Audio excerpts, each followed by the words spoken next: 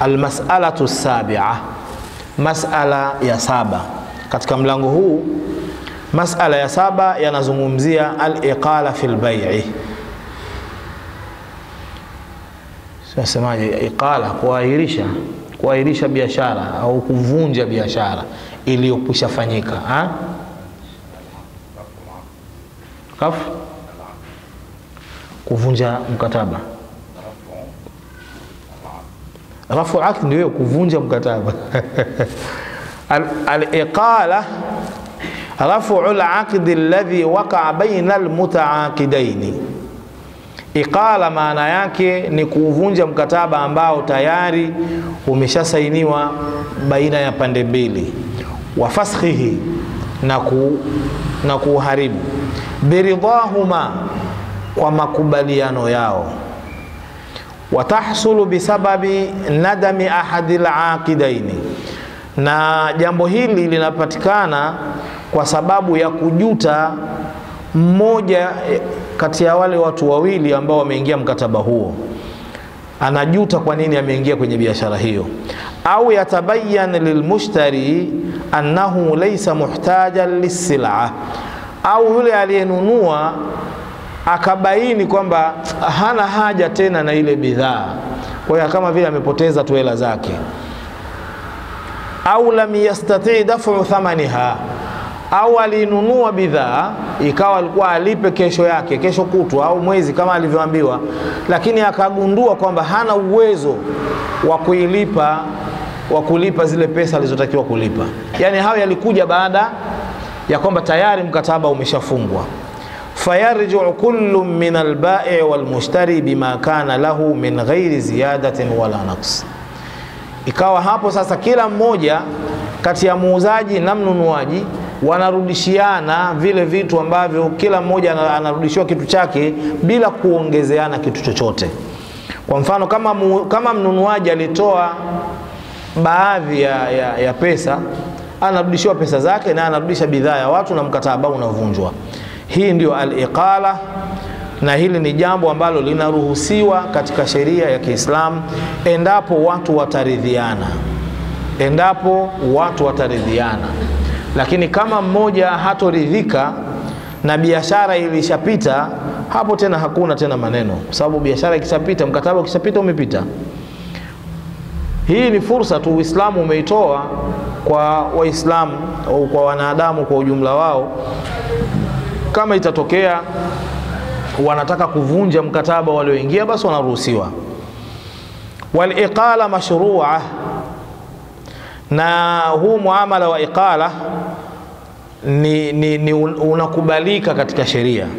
Wahatha alaiha Rasulullah sallallahu alaihi wasallam, na Mtume ameuhimiza mu, muamala huu biqaulihi, kwa maneno yake, man aqala musliman baiatahu, atakayemkubalia muislamu mwenzake kuvunja biashara waliofanya, aqala Allahu athratahu yauma alqiyama, Mwenyezi Mungu atamwondoshea mtu huyo makosa yake siku ya Kiyama.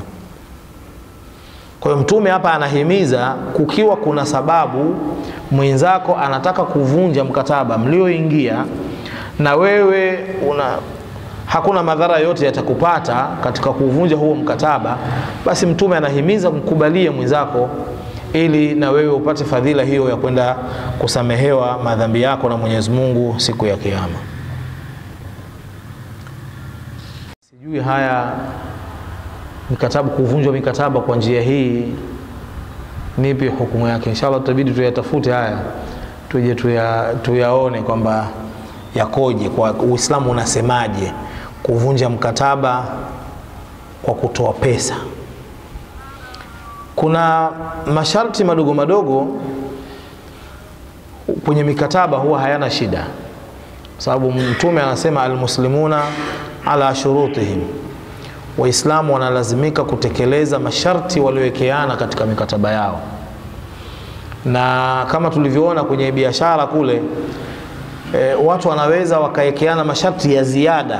Biashara yoyote ile ina masharti yaliyowekwa na sheria. Nyinyi mnaweza kuwekeana masharti ya ziada, lakini kwa sharti masharti hayo yasihalalishe haramu wala yasiharamishe halali, kwa maana yawe ni masharti yanaendana na misingi ya Uislamu. Sasa haya ya, ya mapesa mengi haya sijui yakoje. Tulitoa mfano kipindi kile, nakumbuka kuna biashara kwa mfano sasa hivi ya, ya, ya samaki. Biashara ya samaki, unanunua tu samaki, unaondoka, unaenda nyumbani kwako, unawatengeneza, unapika mwenyewe. Sasa hivi ukinunua samaki unatengenezewa na, na muuzaji. Hili likiwa ni sharti umeliweka kwa muuzaji, muuzaji ana wajibu wa kulitekeleza, na akikataa, una haki ya kuvunja hiyo biashara, kwa bwana, kama utaki kutengenezea, basi nipe hela zangu niondoke, kanunue kwingine, na wala hutopata madhambi kwa kuvunja mkataba huu, kwa sababu kuna sharti na masharti mengine mengi ambayo watu wanaweza wakaweka kwenye, kwenye, kwenye mikataba, lakini ili mradi yawe ni masharti hayapingani na misingi ya sheria. Na hapa ndipo ambapo pia umekuja kile kipengele cha mwanamke kuweza kumwekea mumewe sharti la kutomwolea mke mwingine. Watu wengi ili sharti wanalitilia mashaka kwamba eti mwanamke siku anaolewa anamwambia mume wake, kama watakunioa, sharti langu mimi moja, usiniolee mtu mwingine. Ukilikubali hauruhusi kuoa, unalazimika kulitekeleza hilo sharti, na ukilivunja, mwanamke anapewa khiari,